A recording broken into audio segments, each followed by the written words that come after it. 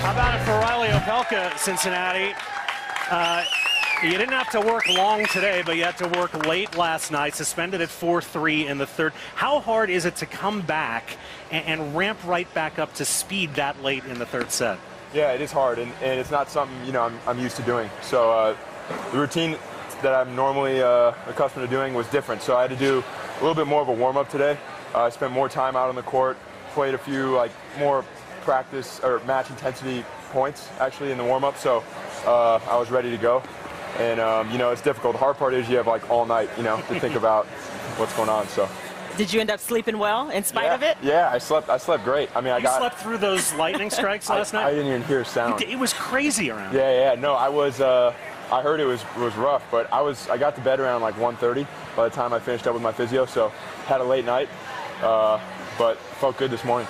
Well, you've played back to back. Finished yesterday, tried to finish yesterday, came back to finish today. It's been yeah. warm both days. Yeah. Today it seems like it's a little more humid. How did that affect you today, if at all? Not, not at all. I mean, the time I was out there was, was pretty short. Um, if anything, I think the hot conditions help me. Uh, the balls are a lot, a lot faster when it's hot. So uh, I think my serve was more effective in the three games I played today than, than last night. So uh, I think that was an advantage for me.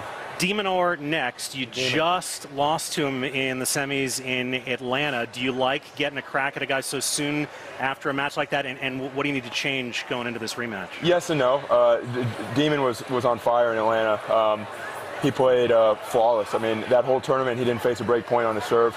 Um, so he's playing with a lot of confidence.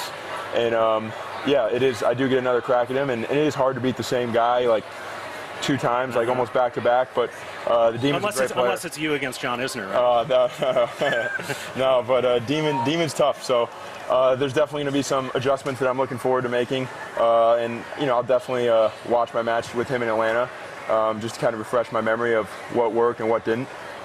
All right, uh, Reilly, congrats on getting that done and coming back on the short turnaround. We'll see you in round two. Thank you. Reilly Opelka, moving on.